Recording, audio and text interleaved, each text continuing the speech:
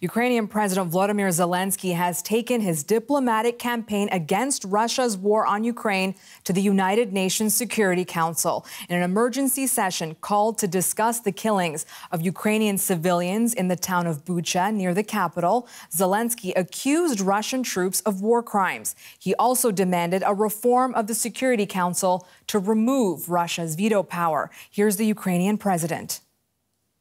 So where is the security that the Security Council needs to guarantee? It's not there, although there is a Security Council. Uh, and uh, uh, so where is the peace? Where, where, where, are those guarantees that the United Nations needs to guarantee? It is obvious that the key institution of the world, which must ensure uh, the coercion of any aggressor to peace, simply cannot work effectively.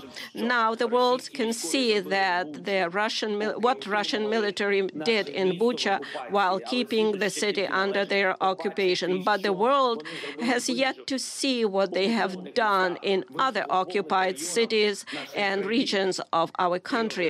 Geography might be different or various, but cruelty is the same, crimes are the same, and accountability must be inevitable. Let's bring in Katerina Busol. She's a lawyer from Ukraine, special specializing in international humanitarian and criminal law. Ms. Busol, thank you for taking the time to speak to DW. Now, President Zelenskyy says what we're seeing in Bucha are war crimes, genocide. Russia says it's all fake. How does international law see it?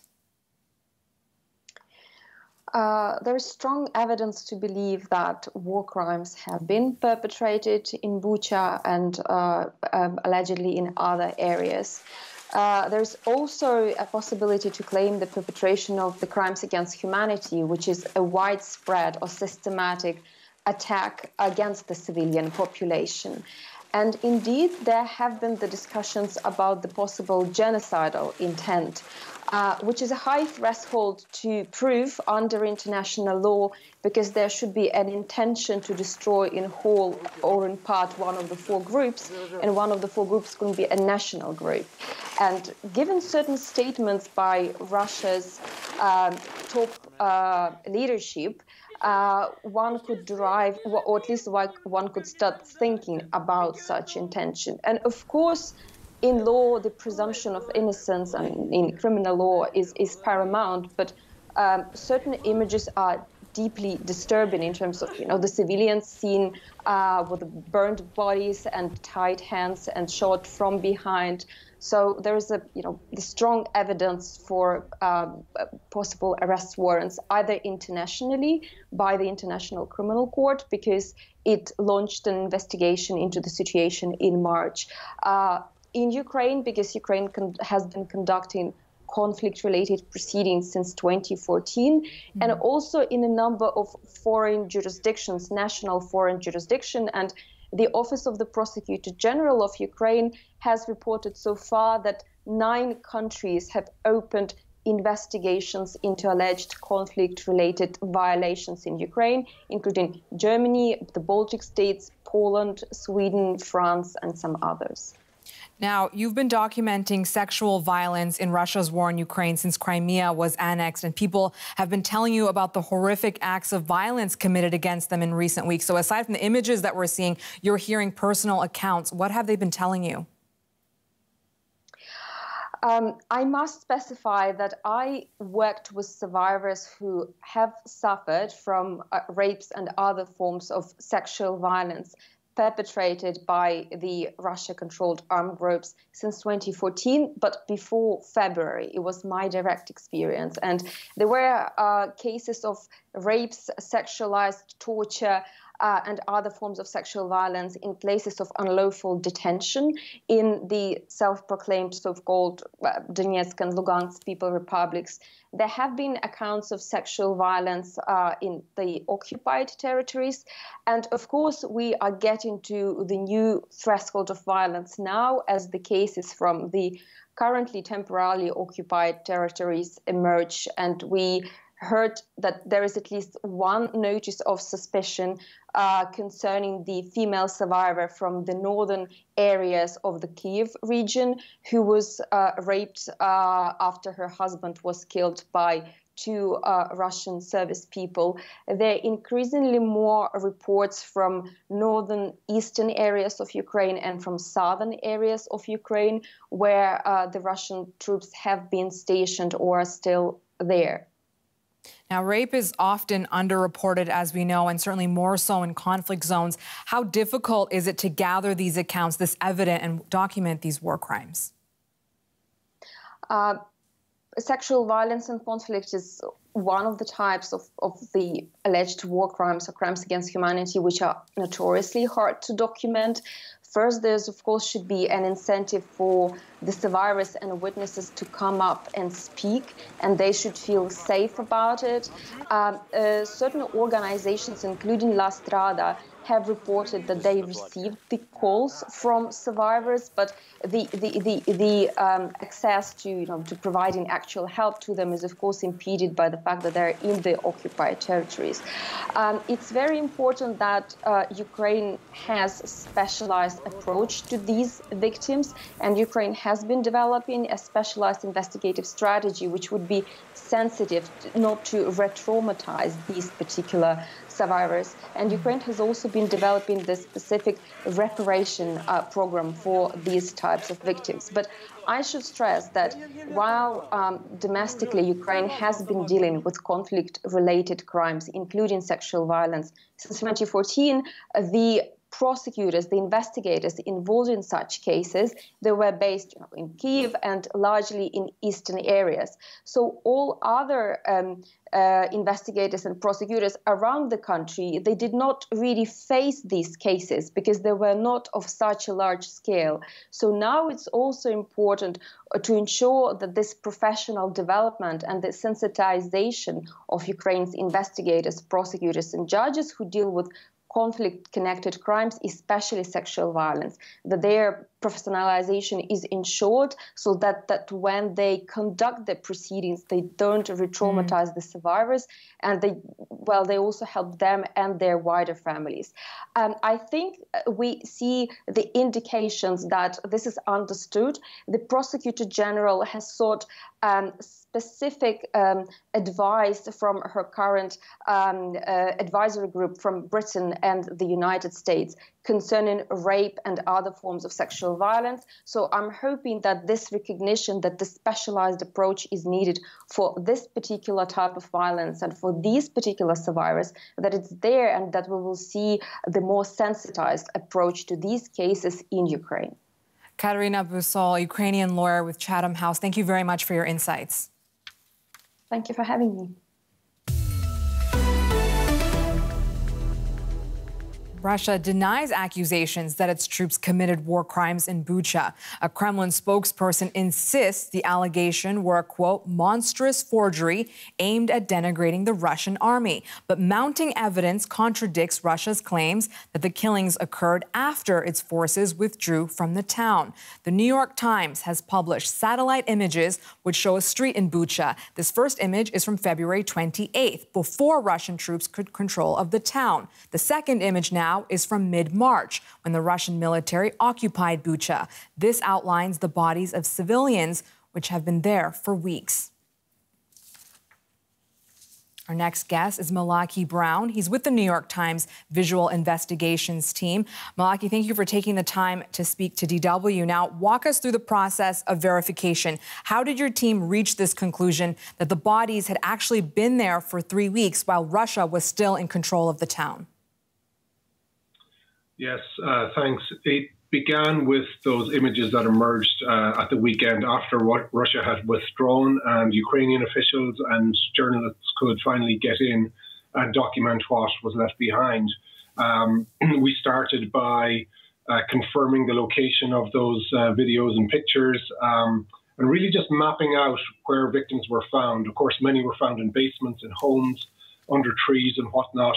Uh, but we, we focused on the open areas because, as you say, Russia was very quick not to launch an investigation into these um, this evidence, but to de- refute that um, or to deny that its military had anything to do with it.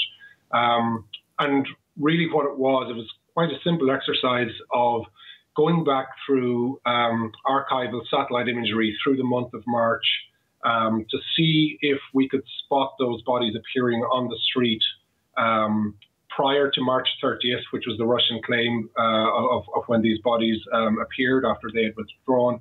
And that's what we found that from um, the, the earliest satellite image we had on March 9th, uh, you could see those bodies in those positions along about a half a mile of one thoroughfare in Bucha. Now, use publicly available data. In this instance, there were satellite images. In other instances, it's images off social media. What are some of the steps that you use to verify footage that's been posted on Twitter or on Facebook? Um, well, it, it's it's who, where, what. It's the it's um, uh, it's the basic journalistic questions. Can we identify exactly where this picture or video was taken? When it was taken through weather reports, metadata, which is like file information that's embedded within the in the videos, uh, corroborating it with other um, information that we're getting from the town. We had photographers and reporters in Bucha over the last few days as well, who spoke to witnesses. Um, and the visual evidence in this case just serves to support what witnesses have told us in Bucha and in other uh, parts of Ukraine where Russian forces have with, uh, uh withdrawn from. Um, today, we're just about to publish actually new video from that same intersection in uh, Bucha that shows um, a convoy of 20 or more Russian military vehicles in that position where we found more than a dozen bodies. So we know now that they were situated there, and we also see them firing heavy caliber rounds at a cyclist who turns a corner um, at that intersection. It was one of the more graphic bodies that we uh, declined to show yesterday, but we're showing it today because that body is found again at the exact position which the Russians fire on the person um, in early March. So, aside from the satellite images, you now have video of Russian troops firing on civilians on that very same stretch of area. Correct. So, when Russia says all of this happened after their troops pulled out, in your mind, given the evidence that you've collected and verified, they're lying it's conclusive evidence that their military was there, was active, and was firing at people on the street where those bodies were found weeks later. Malachy Browne with the New York Times Visual Investigations Team. Thank you very much. Thanks.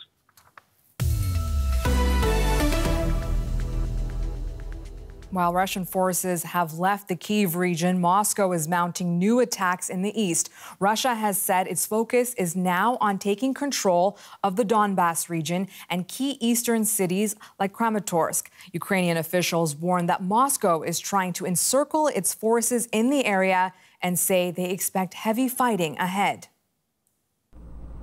Trying to reach safety ahead of the expected Russian offensive. Here in Kramatorsk, in Ukraine's eastern Donetsk region, residents are waiting on packed roads and squeezing onto full trains. Ukrainian officials are expecting fierce fighting here in the days ahead as Russian forces focus on the east after being pushed back elsewhere. Even those who have chosen to remain, like this volunteer helping people at Kramatorsk train station, are worried about what lies ahead.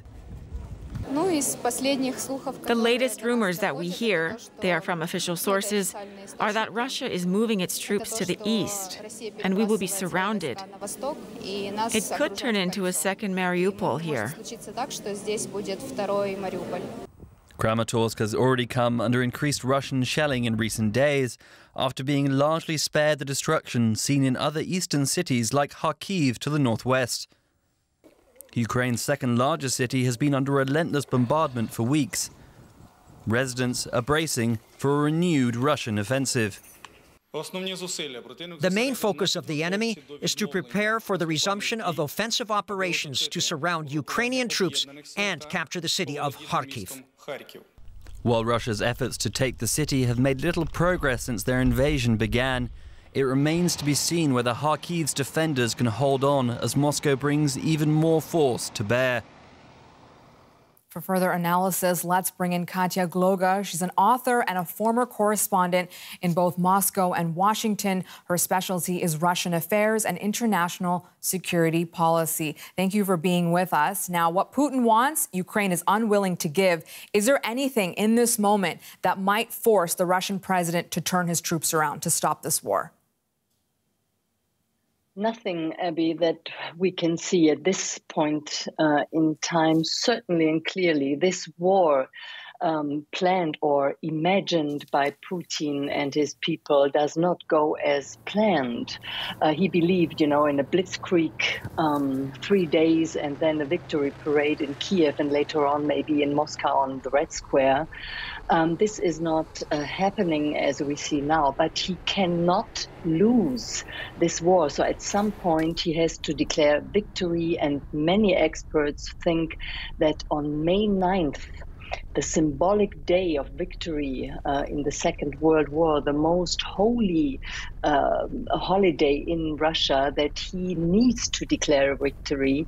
And this victory could be the so called final liberation of Donbas and maybe of parts of southern Ukraine from the imagined so called uh, Nazis in Ukraine.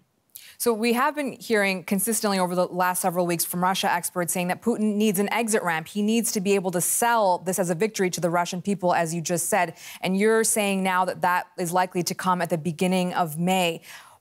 How could he potentially sell this as a victory, given that this is none of this is going according to plan?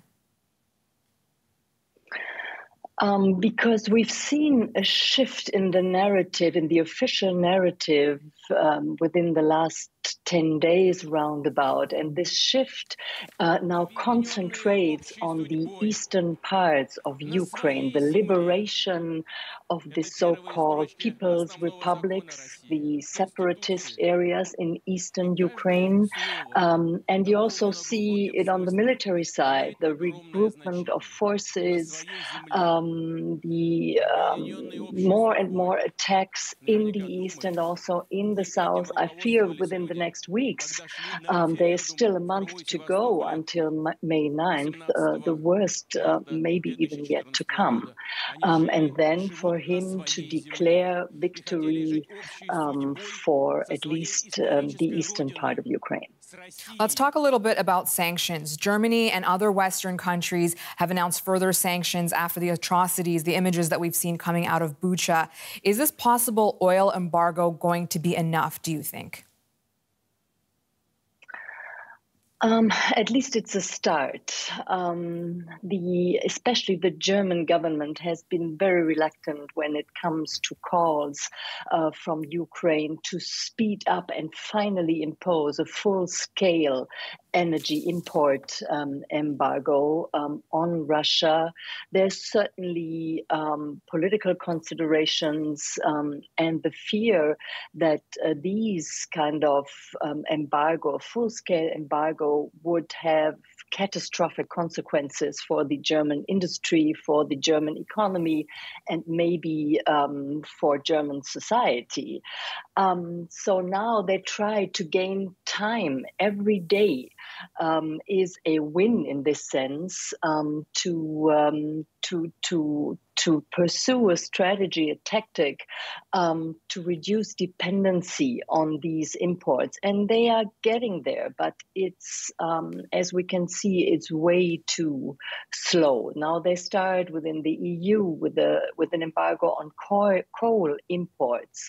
This is more or less easy um, to impose. Oil is the second part of it, um, but the biggest chunk um, in an embargo on gas imports, um, they are still very reluctant um, to take this on, and uh, especially Germany is very reluctant. And I think they uh, would need to rethink it, especially also after the pictures we've been seeing and the uh, the mounting evidence of war crimes uh, by the Russian army in all these places in the north of Kiev and in many other places of Ukraine too. As you say, the German government here has repeatedly said that a full gas embargo would hurt Germany as well. But talk to us about how much it will hurt Vladimir Putin. The unity on sanctions um, imposed by the West, financial sanctions, um, export controls, uh, going also after the oligarchs and their offshore accounts, this hurts the Russian economy and it hurts a lot and it hurts quickly. Um, but still, um, the Russian system, Putin's system, and Putin's business mod- model, so to say, uh, depends on the export um, of fossil of fossil resources of gas uh, in the very first place. So, um, imposing an embargo on gas imports uh, for Germany or even for the European Union would hurt quickly and a lot. Would it stop the war within the next couple of weeks? No, uh, it wouldn't, but it would uh, weaken Putin's position a lot and maybe force him to um, a negotiation table um, sooner than later. But this is, you know, this is optimism and uh, maybe an illusion, but um, at least we have to try. Before I let you go, we have a little bit of time left. How do you see this war unfolding in the next several weeks, in the next several months, in the next several years? I think we need to do everything now to give Ukraine as much leverage as possible. Speed up with uh, arms deliveries, um, discuss tougher sanctions on Russia, um, try to get to a ceasefire at least, and maybe move from there to peace negotiation. It's a very, very, very long road uh, to go, especially after Bucha. Bucha has become a symbol for Russian atrocities in Ukraine. Um, less and less people in Ukraine are willing to negotiate a so called dirty peace with Putin. So it will be a long period, maybe years of instability and a dangerous time we are all entering. Katja Gloger, the author of Putin's World, thank you very much for your time and your insights. Thank you very much.